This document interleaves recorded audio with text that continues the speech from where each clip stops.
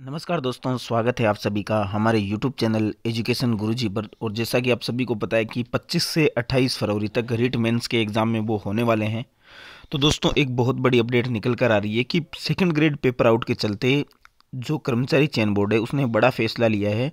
और अब रिट की जो परीक्षा है, वो संभाग स्तर पर या संभवतः दस जिलों के अंदर ही करवाई जाएगी। जैसे आज आप सी का देख सकते हैं, बहुत बड़ी खबर है कि पेपर लीक का खामियाजा तेईस जिलों में सीईटी का एक भी सेंटर नहीं, अभ्यर्थियों को दूसरे जिलों में जाना होगा। देखिए दोस्तों सिर्फ़ और सेंटर दिया गया अजमेर, अलवर, भरतपुर, भीलवाड़ा, बीकानेर, जयपुर, जोधपुर, कोटा, गंगानगर और उदयपुर। लेकिन दोस्तों, इसमें संख्या सोलह लाख के लगभग है। तो दस जिलों में सेंटर दिया गया है। रिट की जो संख्या है, वो सात लाख ही है या आठ लाख ज़्यादा से ज़्यादा है। और दूसरी चीज़, परीक्षा भी चार दिन चलेगी। तो संभाग स्तर पर भी इसका जो सेंटर है, वो दिया जाएगा। संभाग स्तर के अलावा कहीं नहीं दिया जाएगा। तो दूर के अभ्यर्थी हैं, उनको मुश्किल का सामना करना पड़ेगा। लेकिन सही बात यह भी है कि इससे पेपर आउट पर अंकुश है वो लगेगा और परीक्षा वो पूरी पारदर्शिता के साथ होगी।